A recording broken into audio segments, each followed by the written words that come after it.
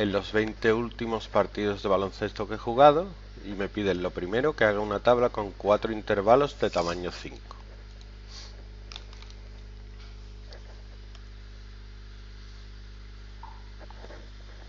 Voy a ver cuál es el número más pequeño. Es 10 y el número más grande es 29. Pues entonces voy a empezar los intervalos de la variable que estoy estudiando, son los puntos en 10 y me dice que hay intervalos de tamaño 5 10 15 15 20 20 25 y 25 30 Ahora voy a contar cuánta cantidad de puntos entra en cada intervalo. Aquí entra el 10 y el 15 no, por eso este intervalo está abierto. El 12 entra en este intervalo, el 18 en este, el 23 en este, el 29 en este, el 10 en este, el 26 en este, el 15 en este, el 21 en este, el 27 en este, el 15 en este, el 13 en este, el 21 en este, el 14 en este, el 15 en este, el 12 en este, el 26 en este, el 23 en este, el 28 en este, el 10 en este, y el 16 en este. Por tanto, la frecuencia absoluta del intervalo 10-15 es 6, del 15-20 es 5, del 20-25 es 4 y del 25-30 es 5.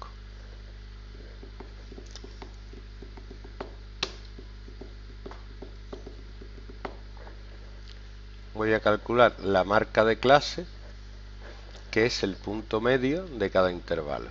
Y esa es la, la XY que voy a tomar. De 10 a 15 es 12,5 de 15 a 20 es 17,5 de 20 a 25 es 22,5 y de 25 a 30 es 27,5 y para empezar a calcular la media tengo que hacer esta columna. Xy por ni que me va a sumar los puntos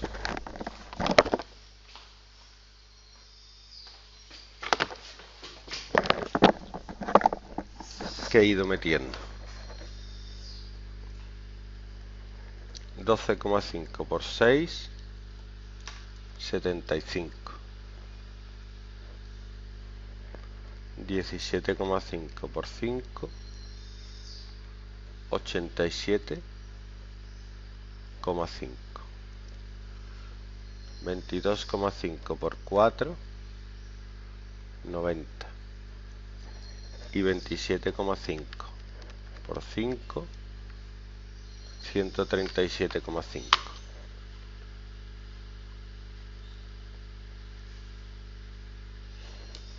sumo y obtengo aproximadamente, ya digo porque lo estoy haciendo por intervalos, el número de puntos que he metido en total. 390. Bueno, pues la media es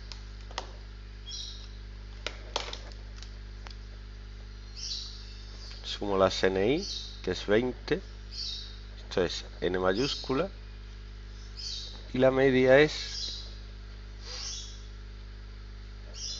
la suma de todos los puntos que he metido partido la suma de los partidos que he jugado sería 390 partido 20 es 19,5.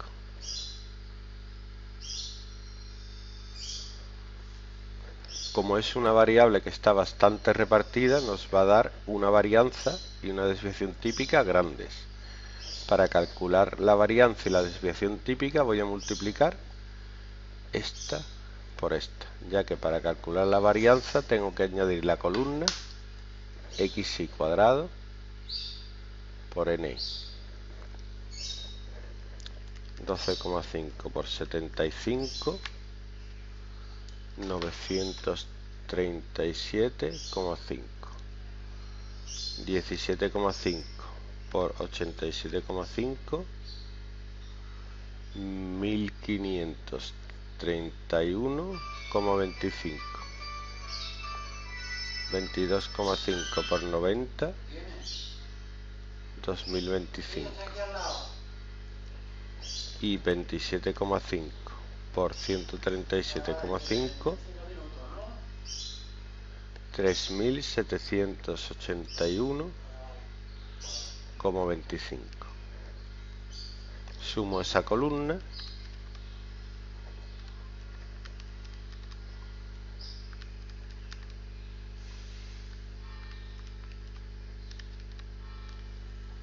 y me da 8275.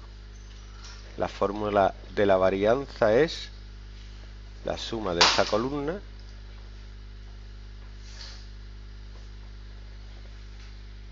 partido la suma de la SNI menos la media al cuadrado. Y eso es 8275 partido 20 menos 19,5 al cuadrado.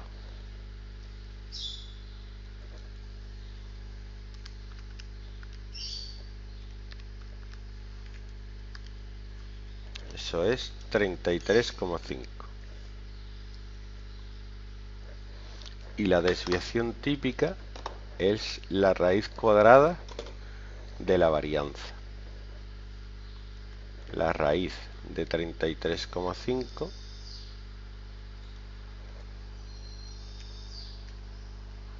es 5,79 aproximadamente.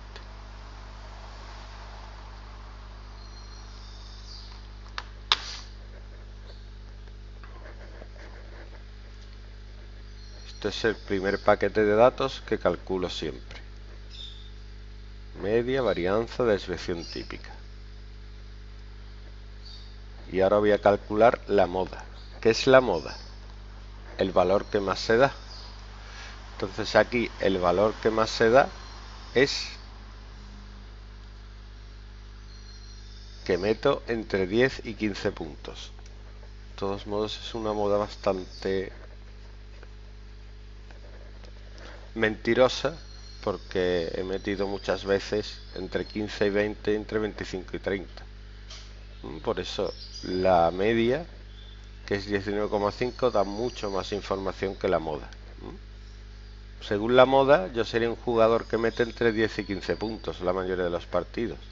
Sin embargo, mi media es 19,5. Bueno, ¿cómo calculo la mediana y los cuartiles? Pues tengo dos opciones hacerlo por la tabla o hacerlo bien. Cuando está por intervalos, a este nivel, el cálculo de la mediana no es exacto. Sin embargo, si lo hago por por los números que tengo, sí me va a dar exacto. Entonces lo vamos a hacer por los números. Voy a escribir aquí los números ordenados del más pequeño al más grande 10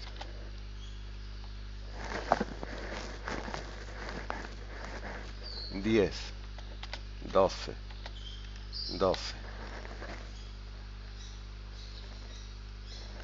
13 14 15 15 15 16 hay 1 17, 9, 18, 19, 20, 21, 21, 23, 23, 24 no hay, 25, 26, 26,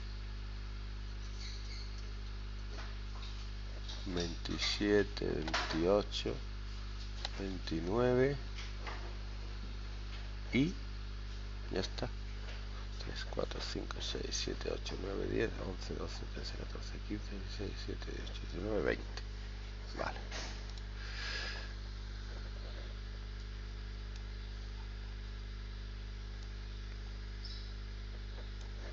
Vamos a calcular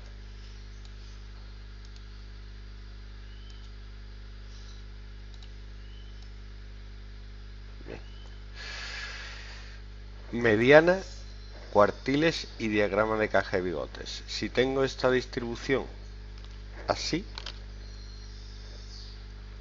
y son 20 números, para calcular la mediana,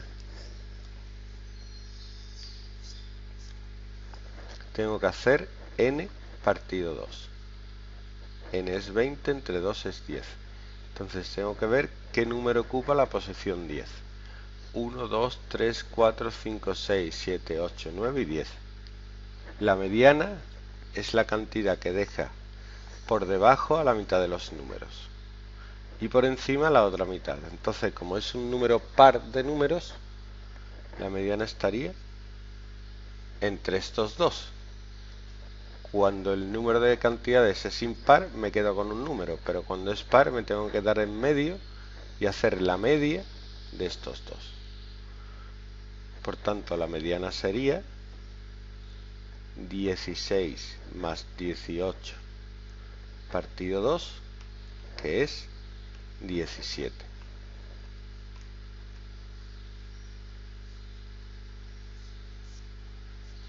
Eso es la mediana.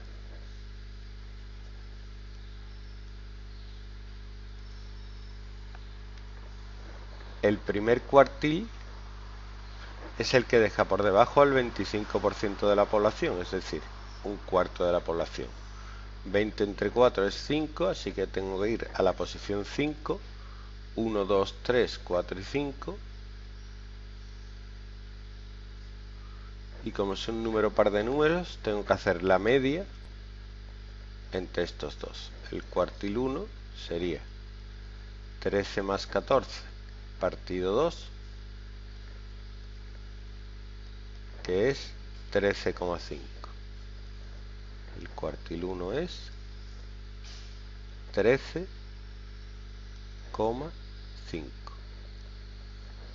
Y luego el cuartil 3 es el que deja por debajo al 75% de la población. Es decir, 3 cuartos, que es 0,75 de n n es 20, sería 15. Entonces tendría que coger 11, 12, 13, 14 y 15 entre estos dos la media. El cuartil 3 sería 23 más 26 partido 2. que es 24,5. Entonces el cuartil 3 vale 24,5.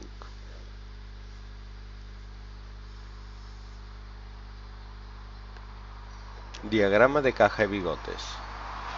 Hago una línea en la que dibujo desde el valor más pequeño al más grande. En este caso de 10 a 29.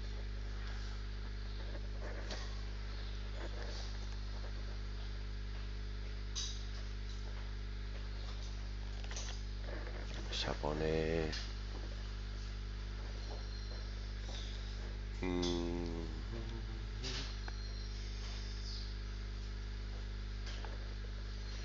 quince veinte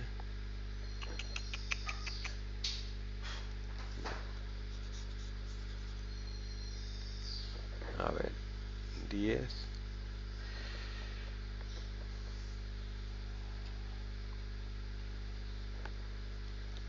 15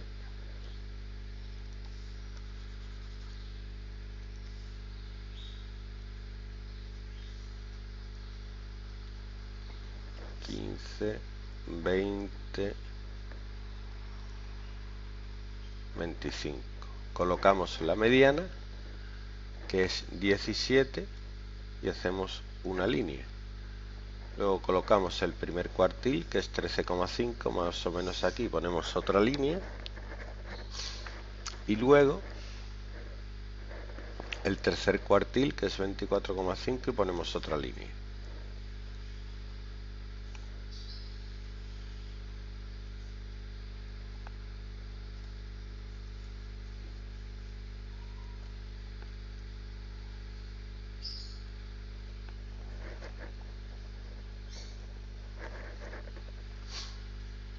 cerramos la línea con los bigotes.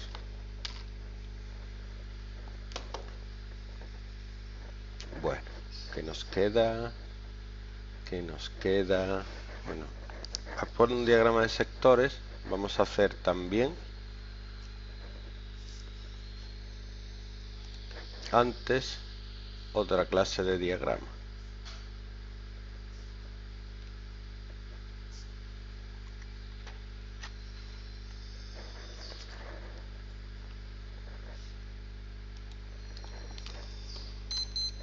Si es una distribución por intervalos, podemos hacer un diagrama de barras poniendo aquí los intervalos.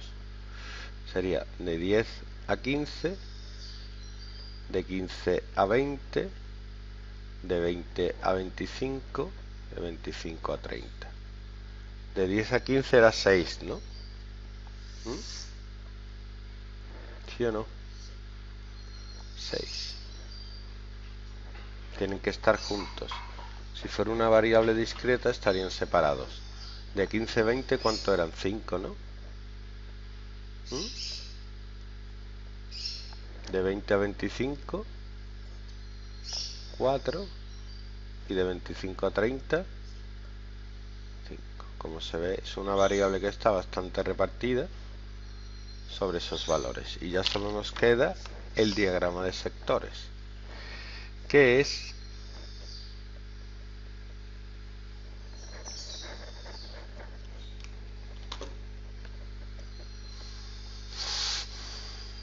dividir una circunferencia que tiene 360 grados en partes proporcionales a la frecuencia absoluta. Entonces yo lo que hago es calcular la frecuencia relativa, FI, que es la frecuencia absoluta partido n mayúscula, sería 6 partido 20, 0,3, 5 partido 20, 0,25, 4 partido 20, 0,20 y